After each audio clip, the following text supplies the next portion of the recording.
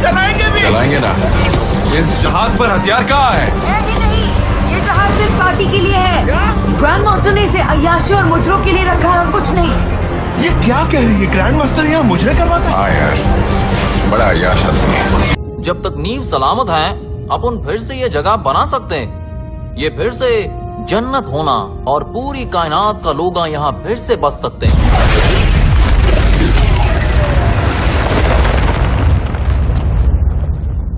अभी कुछ नहीं हो सकता मियाँ। माँ स्वागत है।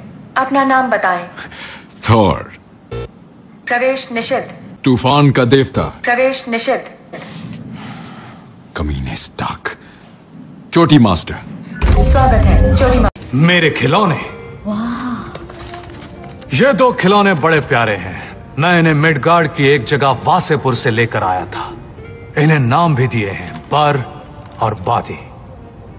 अगर इन्हें साथ में चलाया तो बर्बादी होती। बेटा बिल्कुल मत हिलना क्योंकि मेरे हाथ आजकल कुछ ज़्यादा ही कांपते हैं। ओडिन की दाढ़ी की कसम अगर तुमने मेरी जुल्फों को हाथ भी लगाया तो तुम पे थौर का कहर बरसेगा।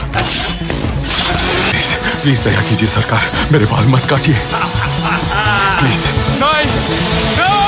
पर टोनी स्टार्क बनता क्या? हाँ।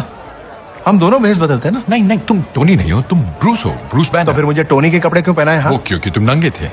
हाँ वो तो मैं था। क्या कर रहे हो? मत करो ऐसे बंद करो। ये टोनी इतनी टाइट पैंट बंद पहनता करो। मैं क्या करूँ? अजीब हरकतें क्या? मेरे गले से इस चिप को हटाओ फिर बताता हूँ। हाय हाय देखो तो मुझे धमका रहा है। ए फुलझड़ी अगर तुम जाना चाहते हो ना वापस अपने आजमगढ़ या एस जो भी है। एस्गार्ड रुक जाओ बेवकूफ़। हल्क रुको। बस एक बार सिर्फ़ एक बार वही रुक जाओ।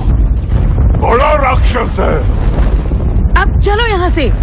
अभी थोड़ी देर पहले जब मैं इस नालायक से बात कर रहा था तब ये कमीना हम सबको मारने को तैयार था। ये मेरी जान का दुश्मन है। हाँ मेरी भी बचपन से।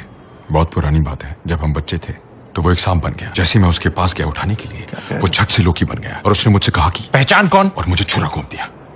मैं हूँ थॉर ओडिन का बेटा। अच्छा। बाप पे तो नहीं गए। क्यों ना हम मिलजुल कर काम करें? तुम ज़रूर पापे गए हो।